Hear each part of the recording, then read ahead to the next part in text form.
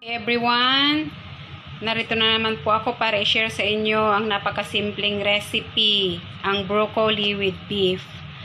Ang ingredients, meron po tayong broccoli, shredded beef, mushroom, garlic.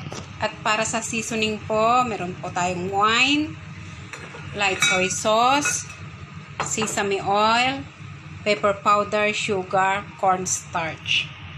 So, i-marinate muna natin yung ating beef ng light soy sauce.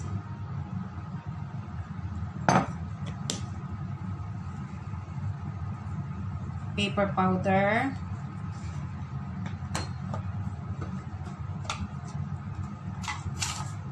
Sugar.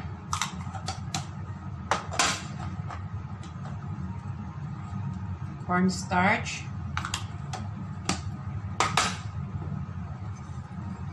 Mag-a-add po ako ng Sauching wine.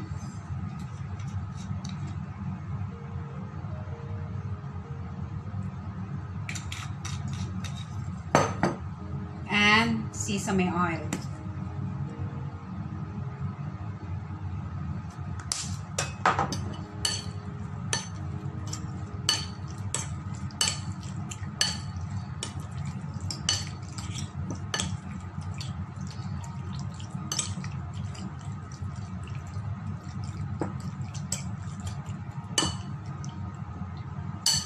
Okay, sit aside muna natin. So, malinis na yung ating broccoli florets. Nahugasan na siya. Ganon din sa mushroom. So, i-mince natin ang garlic.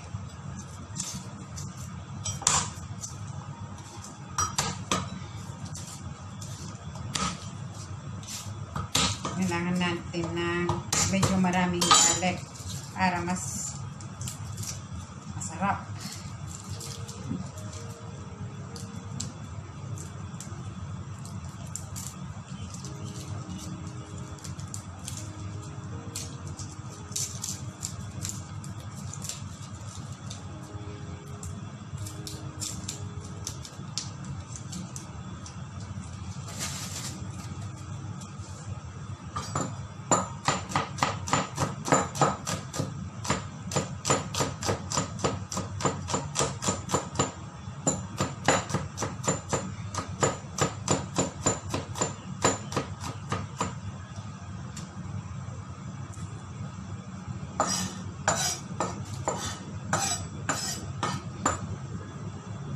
Then, mag-mix tayo ng sauce.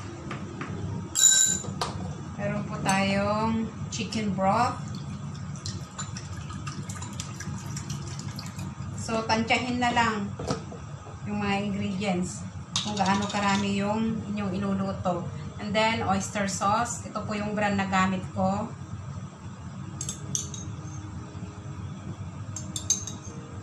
So,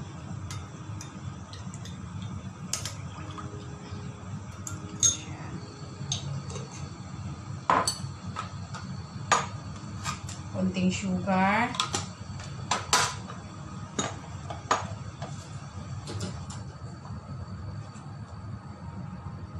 Tsaka cornstarch.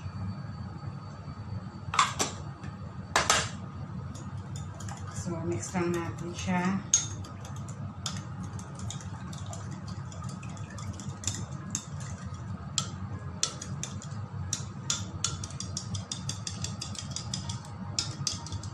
So, okay na yan. Wala ko ng tubig na may salt, sugar, at oil. So, ibuboil natin ang broccoli.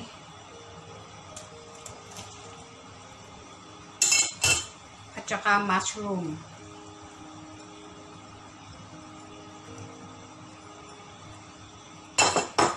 So, i-boil natin siya ng 2 minutes. Init na ako ng oil. Gisa natin ang bawang.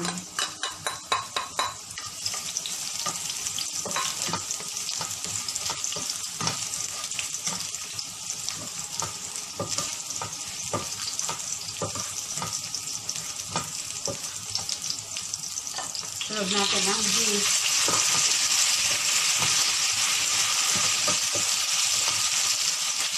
So, madali lang po yung pagluto ng beef para hindi po siya titigas.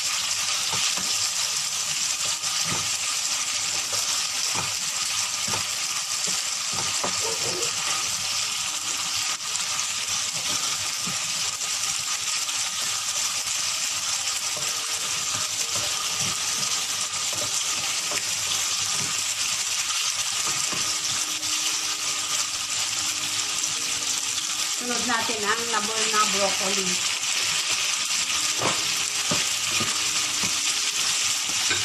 Saka yung sauce.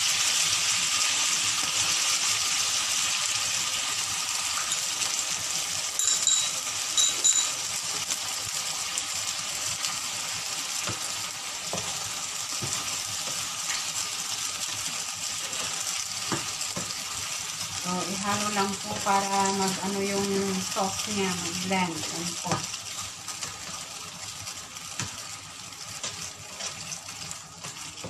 Ganyan lang po. Luto na siya.